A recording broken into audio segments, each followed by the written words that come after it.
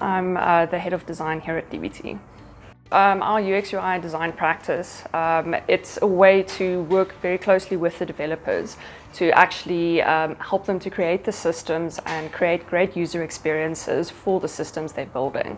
Um, it makes sure that we're not just creating things that are functional, but we're actually creating things that are going to add value and in the ways that people want to interact with things. So doing research, uh, making sure those things are beautiful as well, of course, um, but it doesn't help. It's beautiful and everyone wants to um, work with it, but they can't figure out where the buttons are. So all of that we work with uh, closely with the developers to make sure that we're using the right technical specifications, we're using the right tech stacks, and uh, we understand really what the problem is. So we try and get to that core of the problem and solve that for the client.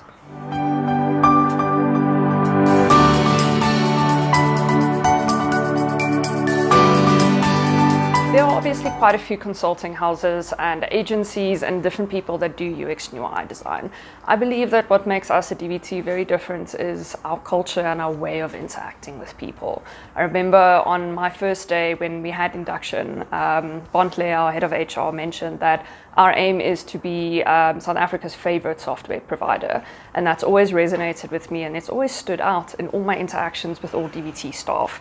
People try and make an effort to not just treat you as a number that's going to make money for the company. We really try and invest in our people, and I'm now in a position where I can help to make that happen. So we have a mentorship program where our more senior designers help to mentor the more junior designers. So whether they have questions on anything from technical questions like design systems and um, you know how to um, create uh, an affinity map to how to deal with uh, difficult clients or um, briefs that you find confusing. So they're there for that. We also have culture managers. Um, we have a dedicated one for the design practice. Um, she looks after us. So anything from uh, recipes for baking muffins. People love asking her recipes because she's a great cook. Um, helping with timesheets, uh, or even if you have some questions about the company or some frustrations that you need to have aired, um, we make sure that those uh, there are multiple channels for people to interact with, and that we can get that information and actually try and make people's experience at DVT a great one. Um, we also really take learning and development very seriously. So uh, I'm very passionate about conferences and I try and give everyone the opportunity to attend conferences. And we encourage people to speak at conferences, write blogs, um, create um, content for meetups, all those sorts of things. We also encourage people to do courses, um, study through IDF, through Udemy, whatever it is, and we help to pay for those because it's such an important thing to constantly be involved. Um, DVT also, for that reason, sponsors conferences and meetups um, like She Can Do, which is a non-profit um, organization that helps to get people into UX because um, we want to be involved in the community and we think that it's so important to help people grow and to really grow that community of designers so that we can be sure that there's a great quality of designers in South Africa. So whether you come to DVT, stay for a few years and then leave again, designers do that. We understand that there will always be some churn, there will always be people looking for different experiences. But we have a lot of people that go out and then come back because they realize that uh, the way we treat people at DVT is very different from other companies. So, it, uh, from my very biased view, um, I think that uh, we have a very unique way of interacting with people and treating people like they really matter. So, my two cents.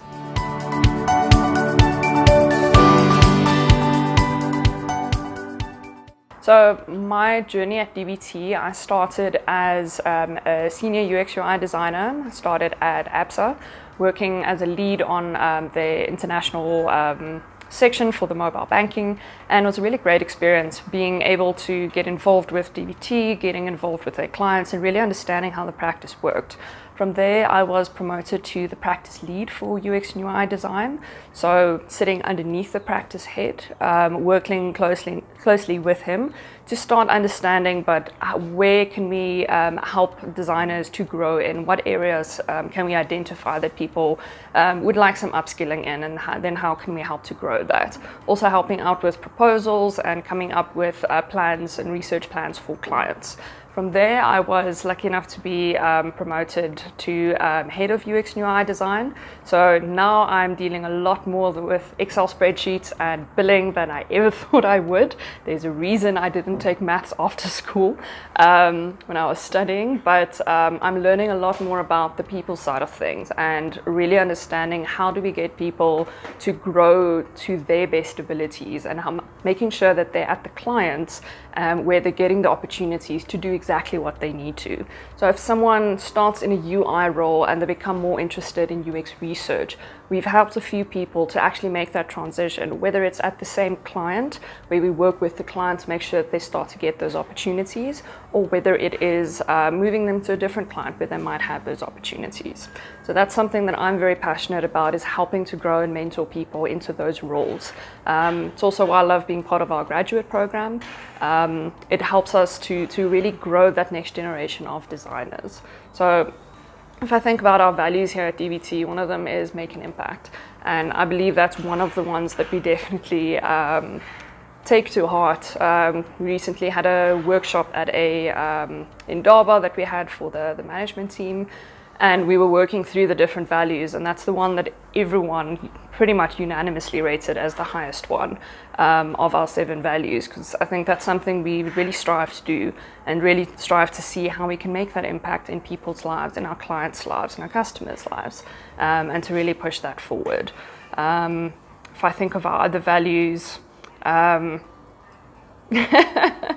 well, uh, work-life balance is definitely one. I think that's one that's a bit difficult uh, nowadays with working from home, but we do definitely still encourage that um, that people should take that balance and try and make time for their families and try and make time for you know going biking or cycling or cooking or whatever it is that you're passionate about, because you need to have that life outside of work that gives you just a bit of time to recharge and to really um, bring your all to work than when you do start working on it.